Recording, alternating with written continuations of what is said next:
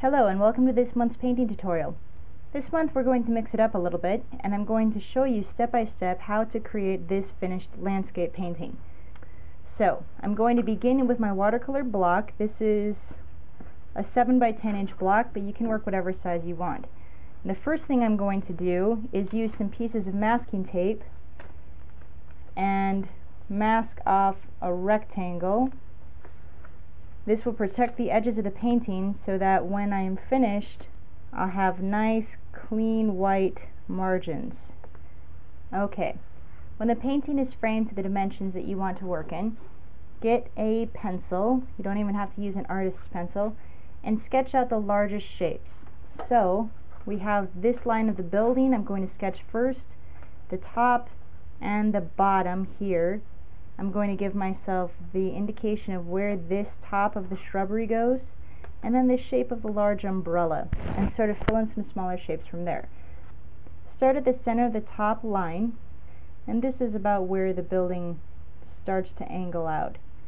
Then I'm going to indicate where the bottom goes and then I'll rough in that line between those two reference marks. There's a little divot in the roof right here. So that's the top. The umbrella is going to break in right at that point and going to go clear across to fill up about this much of the watercolor paper. Then the bottom of the umbrella is about here. And I can add a little bit of detail in the inside of the umbrella with a few marks like this. Now this is the vertical side of this building and then the flowers are going to be roughly here ending at about that halfway point. And I've got some chairs. Then I've got a little archway visible here. And the top of the balcony roughly indicate the breaks of these. And the shadow shape is going to go about here. And then I have these two doorways or windows whatever they are. And the top of the windows needs to follow the perspective angle of the top of the building. Then I have this little fenced in garden thing up here and I'll just scribble in roughly where I want those flowers to go. There's a second umbrella peeping behind this one and then a figure sitting down to lunch another figure sitting about here.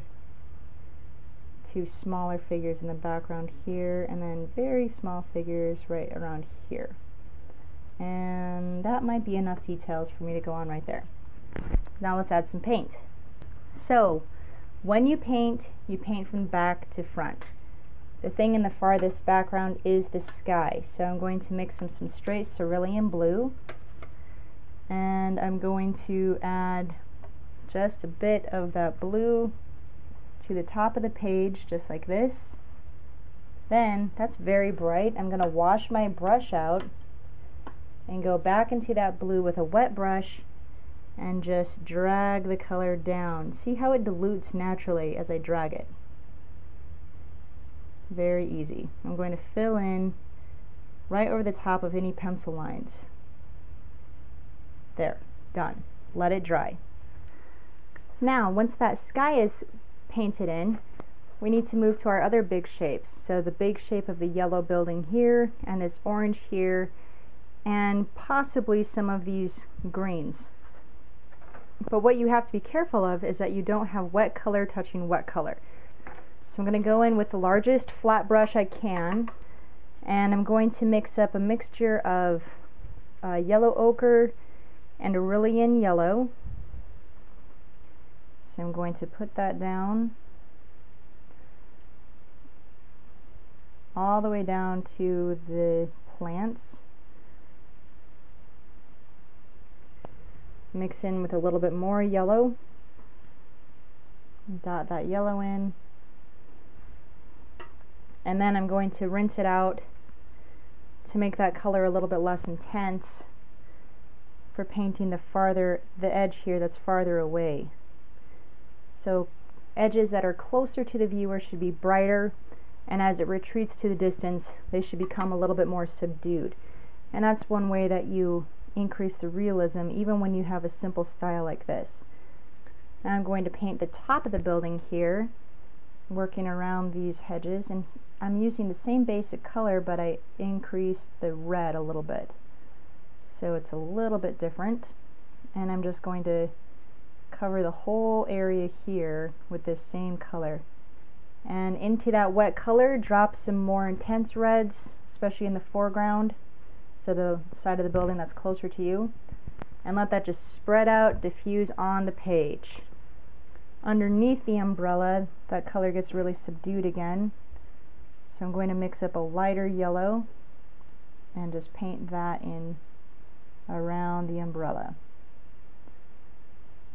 and leave a couple spaces down here for plants. I'm going to rinse it out even more and add a flat ground tone as well. So this is going to be the dirt ground in the background. And we're going to turn that into buildings after a little bit, but I like that soft, diffused style that you get mixing the wet into wet. See how interesting that looks? I love it. Then I think here it's dry enough that I can add some of that same gray shadow color to the bottom half of this little awning. There's this awning up here as well. Okay, now we'll let all this dry. Okay, now let's add some base grounds to the foliage. Start up in the corner up here and then just lay down using the side of a flat brush. Lay down some wet color and then while that's still wet, go into it with some shocks of yellow and some shocks of blue.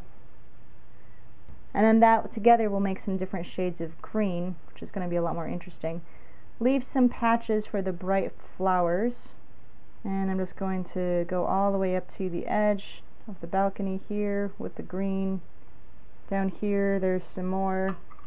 And then again, when you move into the background, your color should be less vivid. So here I'm going to go to a lighter shade of green with more yellow mixed into it. Down here at the restaurant, there's more light greens as well. But then I'm going to get some bright magentas and I'm going to dot in some nice bright flowered clumps. You've got to be careful because you don't want to touch the edge and make the colors bleed, but you do want them to be wet enough that they can mix together and not have really artificial edges. So you want the colors to sort of blend, but not too much, if that makes sense. Don't be afraid of color. Remember, they're going to dry two shades lighter than you put them down. And you want those stark, friendly contrasts. The eye is drawn to contrasts. Down here, you do the same thing, adding some of those little clumps of flowers. I'm just switching from one color to another and working my way around filling in all these flower shapes. Okay, flowers are dry, so let's move into some foliage a little bit more and do some more details. I'm going to mix up a gray blue, so I've got some Payne's gray and some cobalt blue here. I'm going to get fairly watery mixture of that and then carefully choke up on the brush so you get a lot of control add the color to the underside of your umbrella.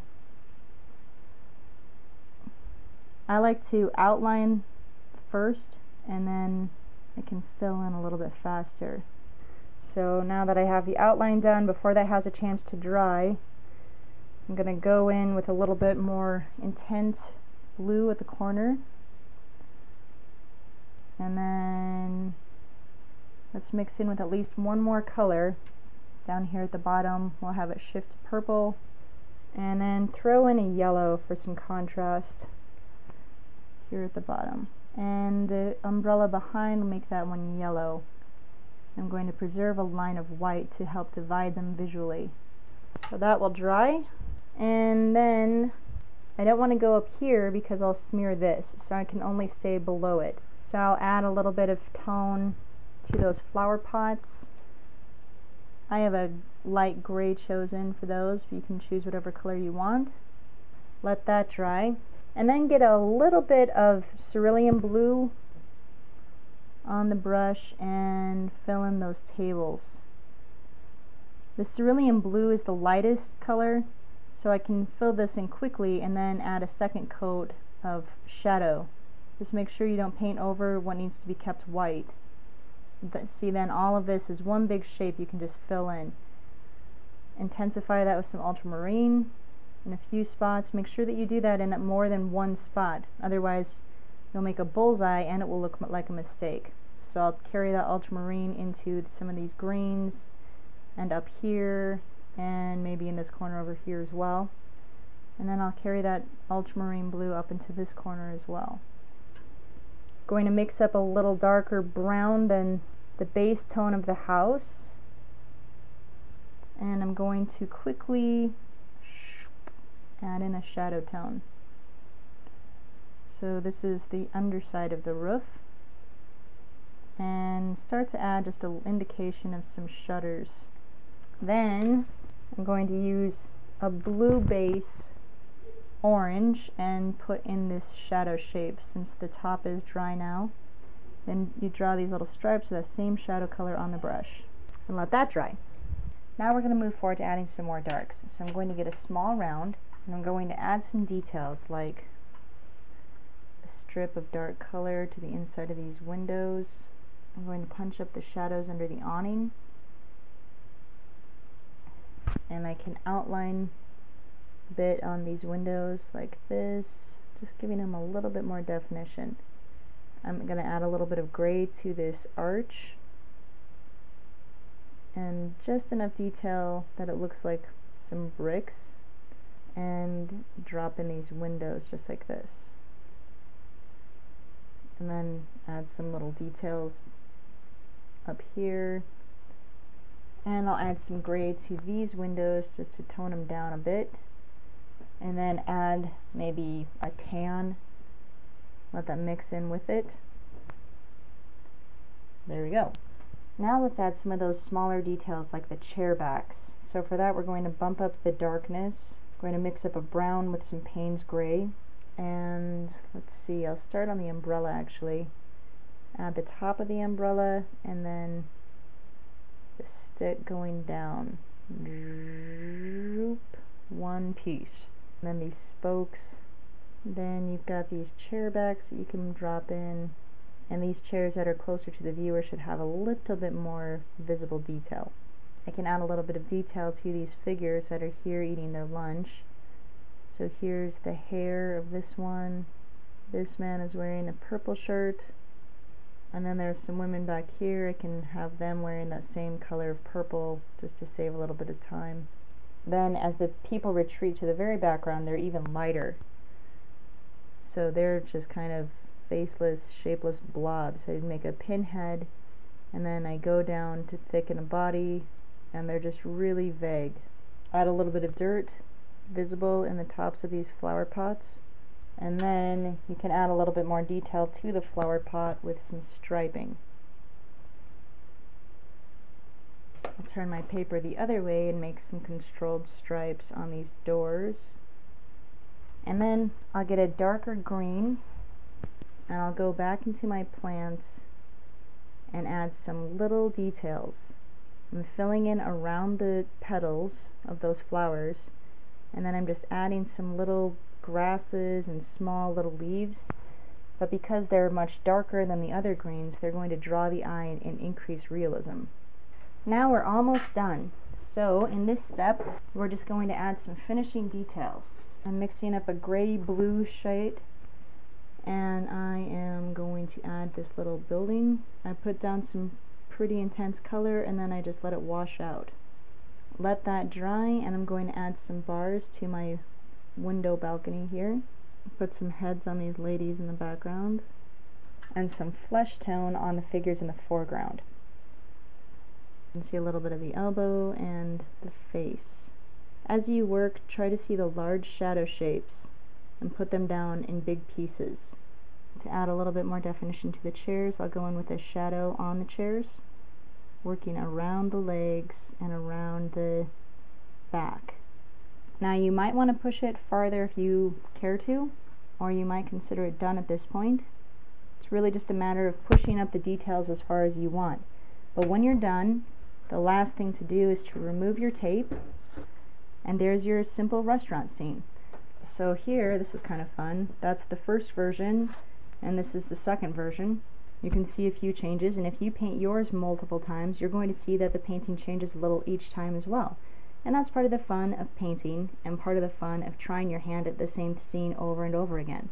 Every time you do it you're going to grow a little bit as an artist.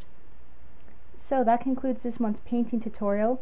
I hope that you've had a lot of fun painting this scene along with me and I'll hope that you'll join me again next month for another painting and drawing tutorial. Thanks so much for watching.